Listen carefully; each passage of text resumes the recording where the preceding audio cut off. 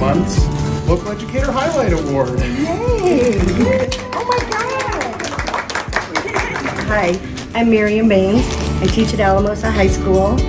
I've been teaching for 29 years. I teach biology, but I've also taught math. Being an educator to me means preparing our youth for the future, and it's my job to help them get through high school. I'd like to thank Adams State College for recognizing me and the School of Education.